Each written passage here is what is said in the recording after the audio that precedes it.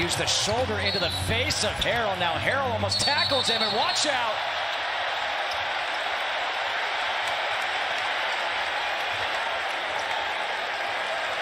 Joel Embiid put his hands, it looked like, around the net. It's happening right in front of the bench. Watch this. That's what Trez was upset about. That's a foul. Yep. That's and another now he one. wraps him up.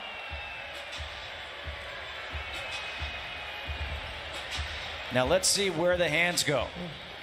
Two Texas Okay, they never got to the throat. Yeah, they were yeah. just on the shoulders. Yeah.